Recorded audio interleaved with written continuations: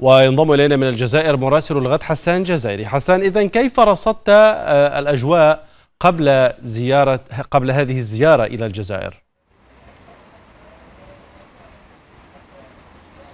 نعم شكرا. اليوم الجزائر على موعد مع زيارتين مهمتين في ظل الأوضاع التي تعيشها المنطقة والتدخل العسكري المحتمل للجيش التركي في ليبيا. حيث من المنتظر أن يزور اليوم الجزائر رئيس حكومة الوفاق فايز السراج مع وفد دبلوماسي وكذلك ممثلين عسكريين إلى الجزائر وسيكون في استقبالهم وزير الخارجية صبري بقادوم ليتم بعدها الاجتماع مع الوزير الأول عبد العزيز جراد لينظم بعدها لقاء مع رئيس الجمهورية عبد المجيد تبون لتباحث الأوضاع الليبية خاصة أن هذه الحكومة قبلت بالتدخل العسكري في المنطقة. والجزائر أكدت مرارا وتكرارا أنها ضد أي تدخل عسكري خارجي في المنطقة وأنها مع التسوية السلمية السياسية للملف الليبي وأكدت هذا وأكدت بأن أمن ليبيا هو من أمن الجزائر وأن العمق الاستراتيجي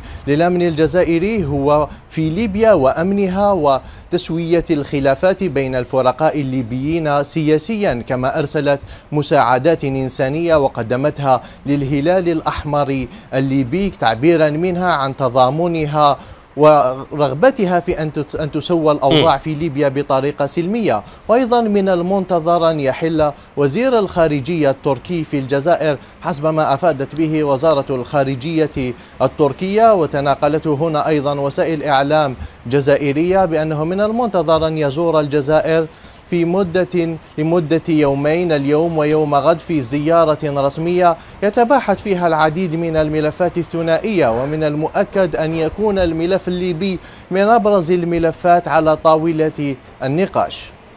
نعم حسان جزائري مراسل الغد من الجزائر. شكرا لك حسان.